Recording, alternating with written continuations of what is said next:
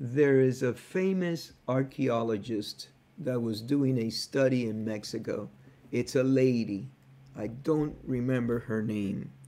It's a lady.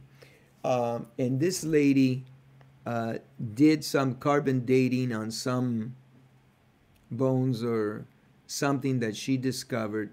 And I believe that the date went back a hundred and a hun- 80,000 years or 100,000 years, Whoa. something like something ridiculous like that. And I'm talking about, I believe, 30 years ago. Okay, but here's the point. Um,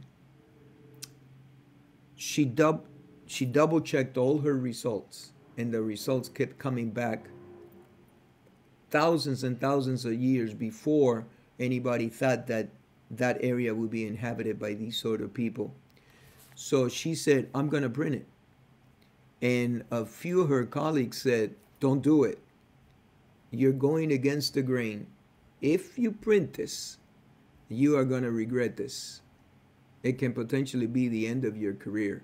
And she says, Yeah, but you're telling me to lie. I'm not going to lie. I'm going to print this. Long story short, she printed it and they destroyed her in the media. They discredit her to the maximum capacity. Hmm. We, I have to find her name so that we can link this so people can We'll put it in the Check- check. description. Yeah. yeah, they destroyed her. This was in Mexico. This was a lady. This was years ago. She lost her funding. Hmm. Okay, so therefore she lost the money. Lost the money to continue to do her research, Yeah. and they destroyed her reputation. Wow. And they truly, truly messed up her life. And I can cite a couple of people through history that um, yeah. Well, they have done it's like uh, what do they say that there's a saying about like the hill that you die on or something you're gonna die on that hill like if you believe so much in the cause you're willing to go down You know, they destroyed her life, man. You know and people like that life. some of them you'll ask them and they'll say they would have still done it you know one person that comes to mind like that is uh, uh, bob lazar the uh, ufo Yeah, yeah.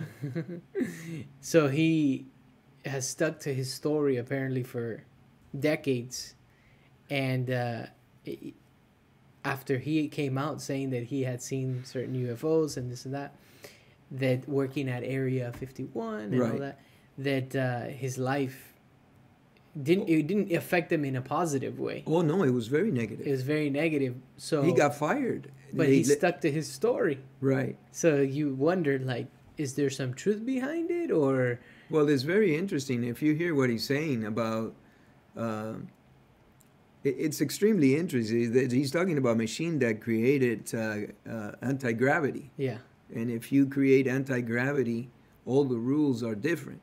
You can do anything you want.